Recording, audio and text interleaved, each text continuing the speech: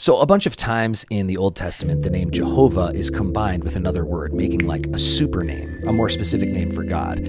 For example, in Genesis 22, after promises, a quarter of a century waiting, a stepson for his wife, Abraham finally had the promised child, Isaac. He must have watched that kid fall asleep every night. But then God said to him, uh, Take Isaac and sacrifice him to me. And Abraham went to do so. Isaac's on the way up the mountain with his dad. He's like, uh, Dad, where is the sacrifice? And then in Genesis 22 8, Abraham says, The Lord will provide a sacrifice.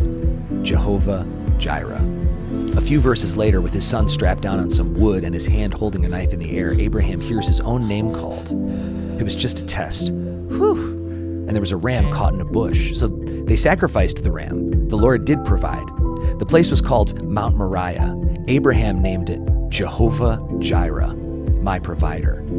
This place is a massive deal, by the way. It's the place where Solomon built the temple. It's the place where Ezra and Haggai rebuilt the temple. It's the place where Jesus turned over the tables of the money changers. It's the place where Jesus was condemned to die. That must be the most prophetic naming of a place ever. Abraham calls it Jehovah Jireh, and then centuries later, God did provide not just a ram to keep Abraham from sacrificing his son, but God sacrificed his own son for the sins of the entire world. Jehovah Jireh. God will provide. God did provide. God does provide. We used to sing a song in kids' church.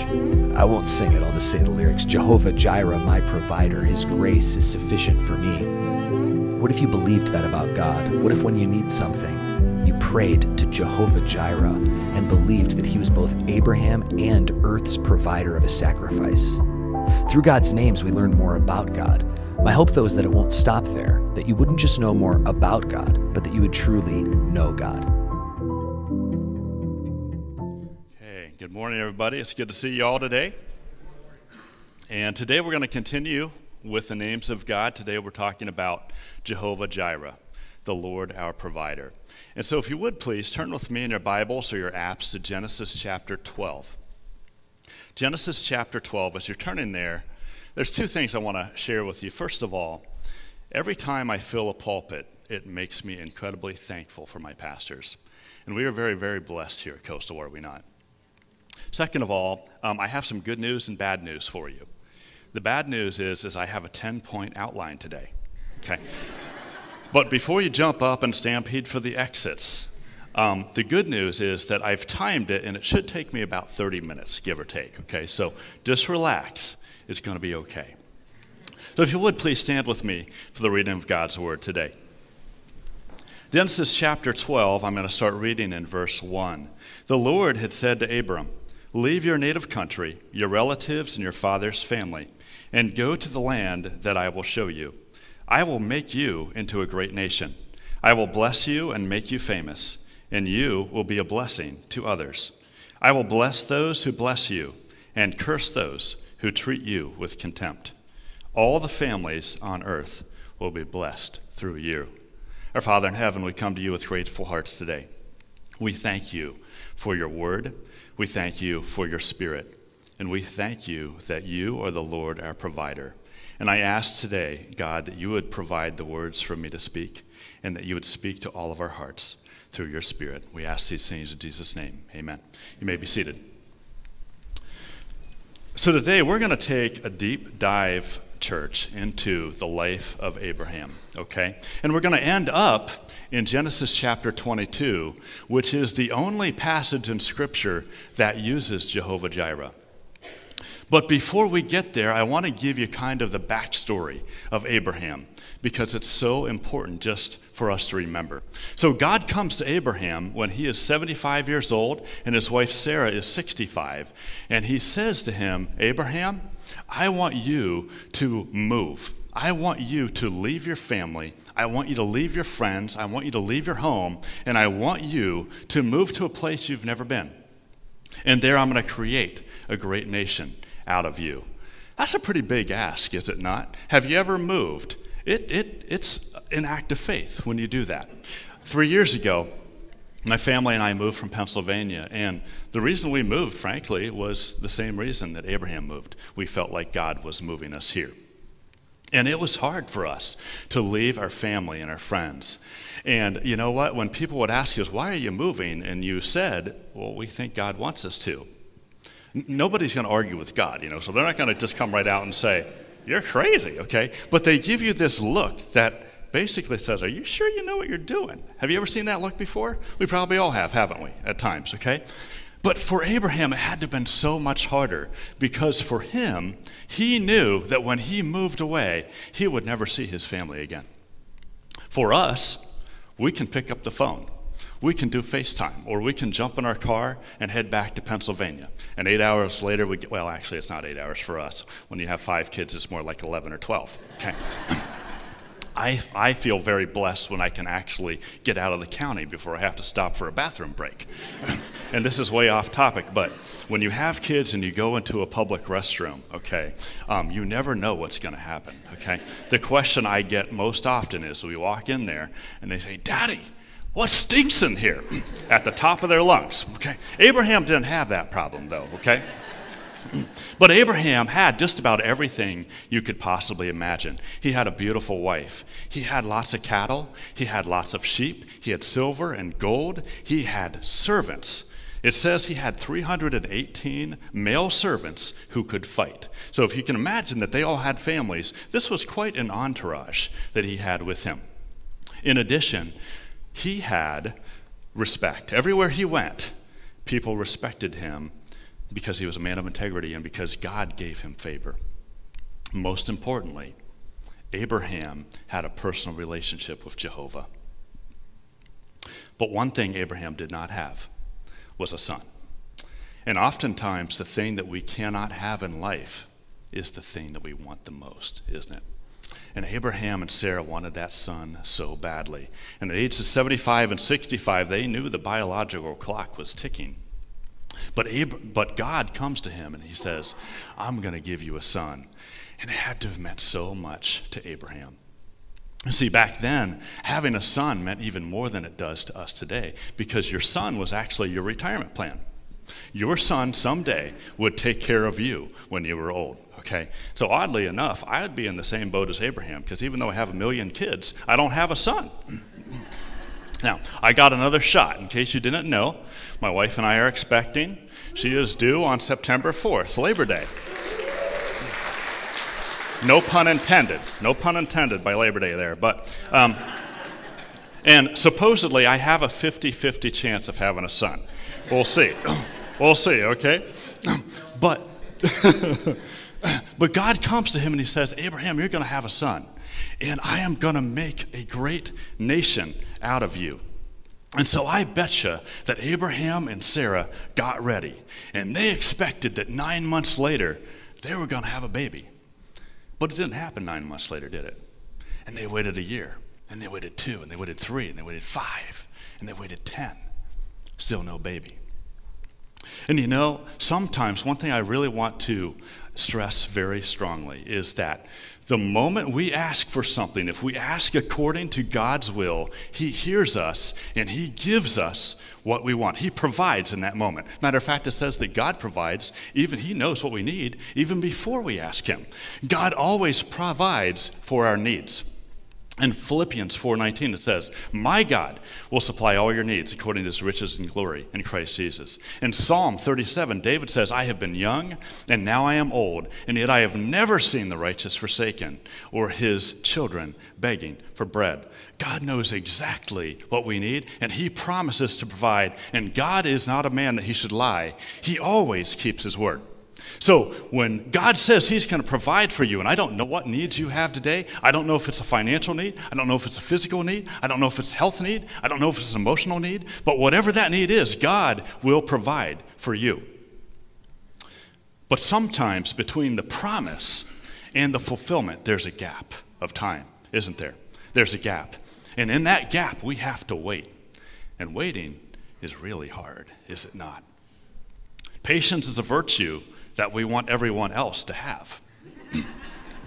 and so we see that in Genesis chapter 15, I'm going to start reading in verse 1. Sometime later, the Lord spoke to Abram in a vision and said to him, Do not be afraid, Abram, for I will protect you, and your reward will be great. But Abram replied, O sovereign Lord, what good are all your blessings when I don't even have a son? Abraham was tired of waiting. And also, waiting, not only can it be hard, but waiting can be scary. And you can see that in this passage. God said, Don't be afraid, Abraham.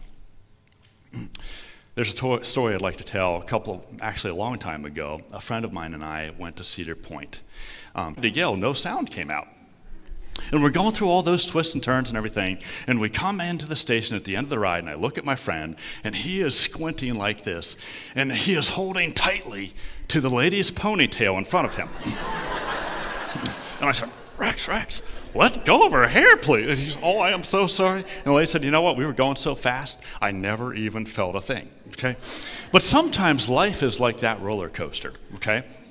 We know that we have a need. We know that God is going to provide. But in between the time we get on that roller coaster and the time we end, we kind of forget about it, don't we? And we start worrying and we start stressing out. And we see that crisis ahead of us. And we don't act in faith, we act in fear. And God comes along as He always does, and He provides, and He solves that problem. But we barely notice because we're now focused on the next crisis. Are you with me there? Is it just me? We all do this, don't we? Okay? And God wants us, God wants us to focus on Him. The other thing is, is that sometimes we have our own ideas of how we want God to provide for us, don't we? We have this perfect picture. There's a story told about a pastor who was talking to God, and he said, God, how much is a million years to you? And God said, One second. And he said, God, how much is a million dollars to you? And he said, One penny. And so the pastor said, God, can I have one of your pennies? And God said, Wait a second. God has his own ideas, and we have our own ideas, okay? When we were moving here, we decided to, um, we looked at um, a certain neighborhood in Manteo, and we looked at two houses. We looked at the house we have, and we looked at another house. And after we walked through those houses, we decided that we were going to make an offer on the other house. So we made that offer. We felt really good about it, but we didn't get the house. And so we went back to God and we said, God, um, what is it that you want us to do? Is it you're telling us not to move to, to Manteo? Or is it that you just want us to move to another house there? And so we prayed about it for two weeks. And finally, we felt like, no, no, God wants us to move there. Um, but it's just a different plan. He has a different house for us. And so we went back and we made an offer on the other house, the first house. And within an hour, it was ours. It happened so fast, I actually freaked out. And, but anyway, in between the time we signed that contract and the time we moved here, um, I started wondering, well, why didn't God give us that other house? It had an extra bedroom, it was newer. I just felt like it fit our family better. But when we actually moved into our home, I realized that God knew best because it had a bigger kitchen for us, which is huge. It had a bigger living room, it had a private backyard. it was the perfect place for us. God knew what was best, He had a different plan for us.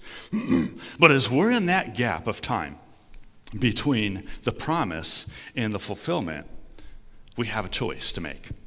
We can choose to keep our eyes on God, or we can keep our eyes on our circumstances. And it is so hard to keep our eyes on God. We want to focus on our experience, don't we? Pastor said something as we were um, talking last week that I thought was really good. He said, Our experience doesn't change who God is, but it can become the greatest battle we have. Isn't that true? One of the things I used to do with my children when they were younger is I would take them over to the baseball field next to our house and I'd put them on the bleachers and I'd ask them to do a faith exercise. This was specifically something I did with Sky because Sky was a, a drug baby. And we adopted her from foster care. Excuse me. And um, our therapist told us she needs to to relax more and she needs to be able to trust you. And so we did these trust exercises. So i put her on the bleachers and i'd say honey i want you to jump to me. And she'd look down at the ground and say no daddy i can't. I'm to fall. I'm so scared. And i say honey don't look at the ground. Look at me. Focus on me. And when she focused on me and she kept her eyes on me, she was able to jump. And that's what God wants us to do. He wants us to keep our eyes on Him. You see, as humans, we want to find our happiness in our circumstances. But God wants us to find our happiness in Him, regardless of our circumstances.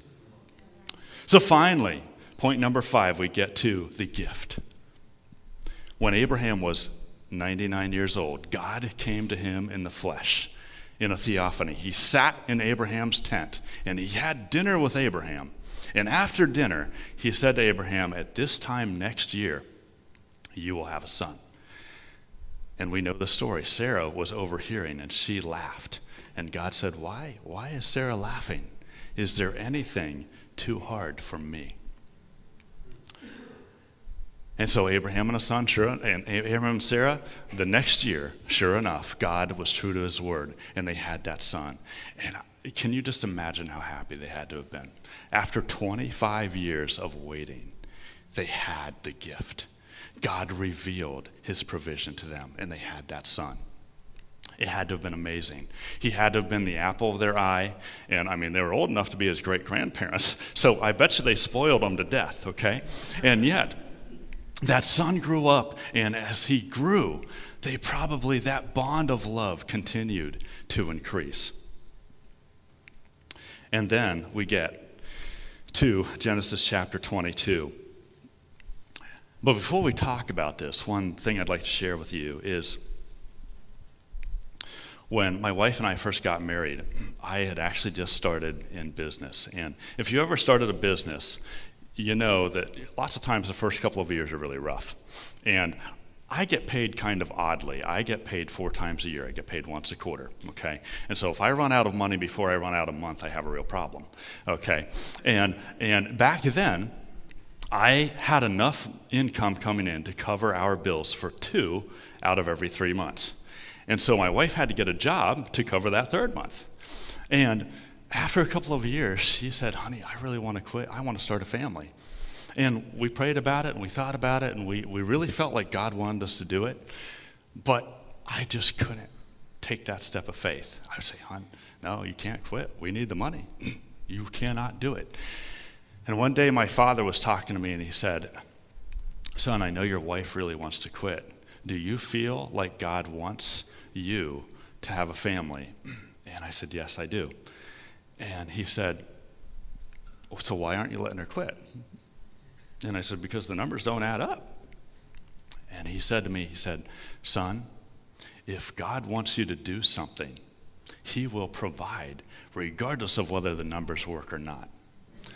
And you know what happened that year? I had the best year up until that time in my business. He doubled my business. Not only did he meet my wants, my needs, but he met a lot of our wants as well.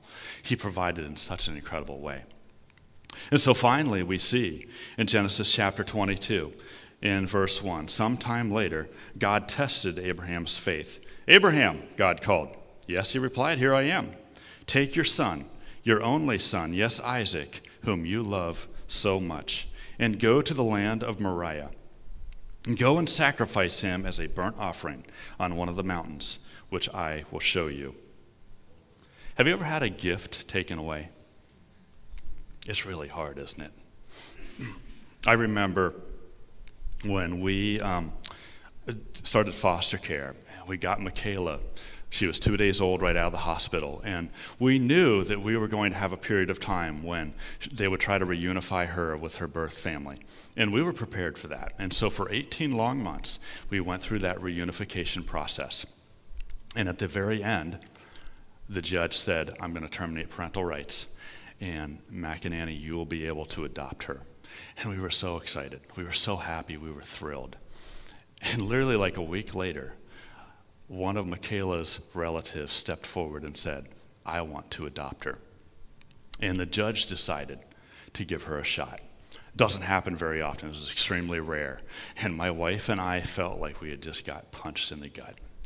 And so for 10 more months, we waited as the judge tried to vet this lady. And finally, at the end of the day,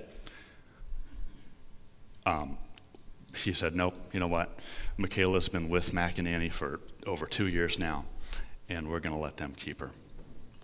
It was such a, a, provision. But in that time, we felt like the gift was going to be taken away from us. And it was hard. It was so hard. We wondered at times, God, why are you doing this? You gave us this gift, and now you're ripping it away. I can't even imagine what Abraham went through that night. Can you?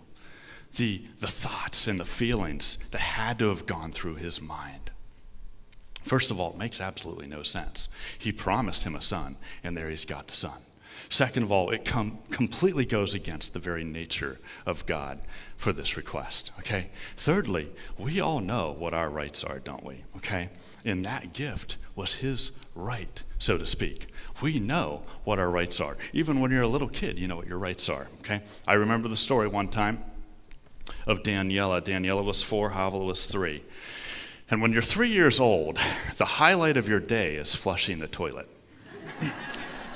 And I remember one time Danielle had gone to the bathroom, and she's really going to be very mad at me. Where is she? Is she here? There she is. Okay. I love you, baby. But anyway, so Daniela had gone to the bathroom, and Havila said, Can I flush it? And Dan said, No. And my wife was standing right there, and she said, Aw, just let Hava flush it. No, please. No, that poop came out of my butt, and I'm going to flush the toilet. We know what our rights are, even when we're little, don't we? Okay? And Abraham knew what his rights were. But instead of fighting with God, he just obeyed. And we see that in verse 3. We see Abraham and his great faith. His faith has grown over the years. His faith has grown to something just incredible. And faith requires two things. First of all, faith requires action, and then faith requires words. The action we see in verse 3, count all these verbs in here with me. The next morning, Abraham got up early. He saddled his donkey and took two of his servants with him, along with his son Isaac.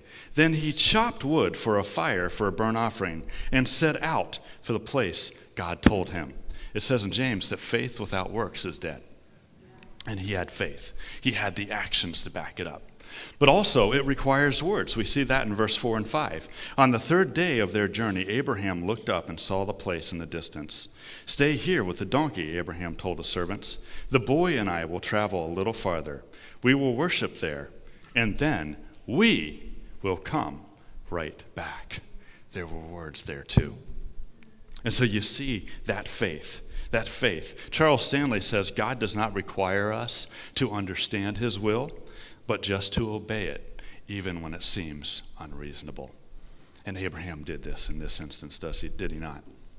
So we see Jehovah Jireh revealed next. I'm going to start reading in verse 9. When they arrived at the place where God had told him to go, Abraham built an altar and arranged the wood on it. Then he tied his son Isaac and laid him on the altar on top of the wood. And Abraham picked up the knife to kill his son as a sacrifice.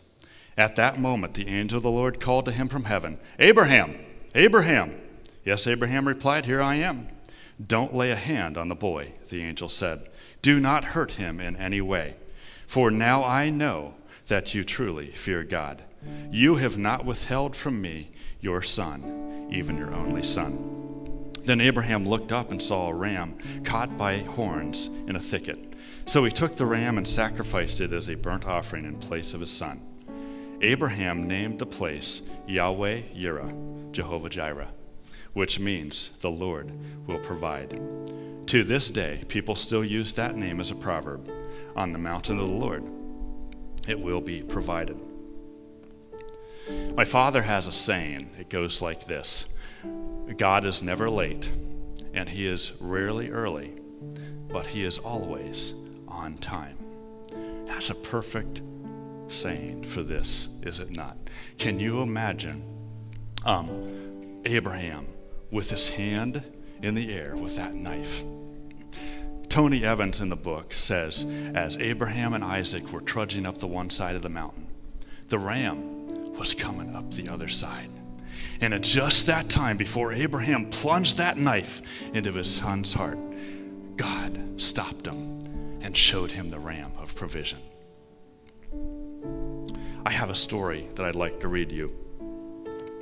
A little girl bought a plastic pearl necklace with money she had been saving all year.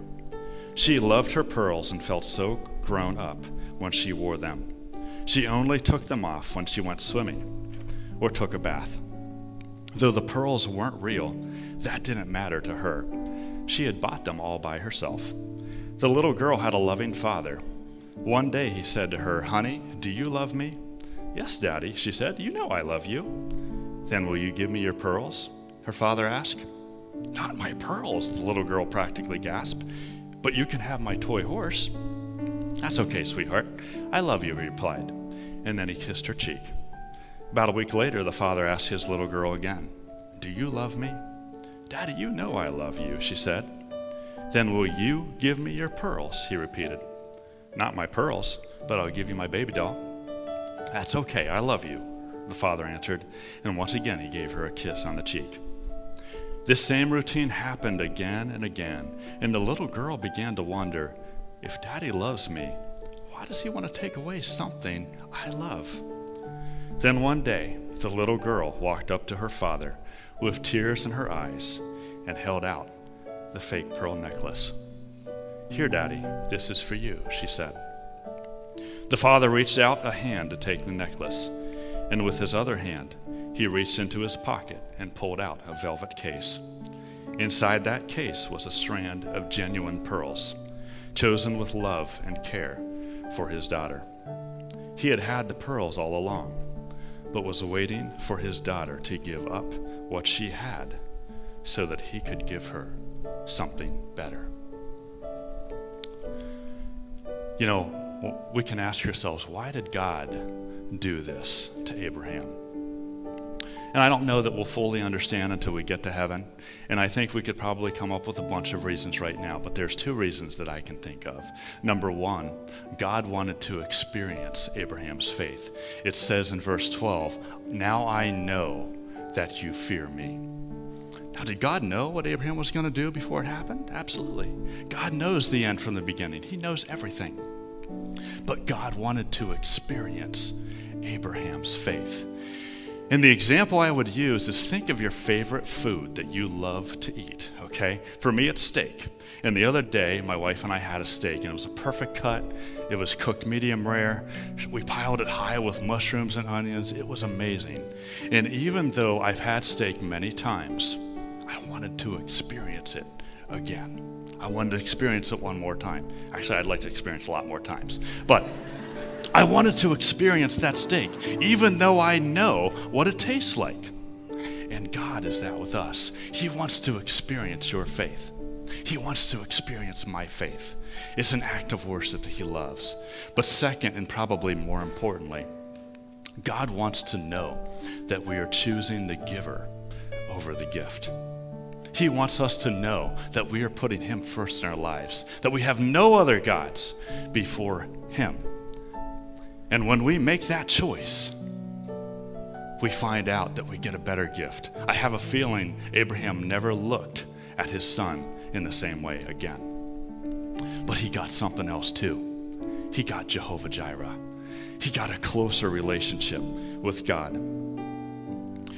Martin Luther said this I have held many things in my hands, and I have lost them all. But whatever I have placed in God's hands, that I still possess. Last but not least, we see the giver became the gift. 2,000 years after Abraham and Isaac walked up that hill, another son walked up that very same hill, carrying a cross. And this time at the top, God did not spare his son's life, but he sacrificed him for us all. And He gave us the most important gift. He gave us eternal life. He gave us that relationship, that spiritual provision for us. So, folks, I don't know what you're going through right now. I don't know what you need God to provide. I do know we all need something, don't we? I don't know when that provision will be revealed, but I do know that God will provide. He has already provided for you. And as you are walking up that mountain, the ram of provision is coming up the other side. And at just the right time, your provision will be revealed to you. Because we have Jehovah Jireh as our friend. He is a friend that sticks closer than a brother. He owns the cattle on a thousand hills. And there is nothing too hard for him. Let's pray. Dear Heavenly Father, I thank you so much for Abraham, and I thank you for the tremendous faith that he had. And most importantly, I thank you that you are Jehovah Jireh. You are the God that provides.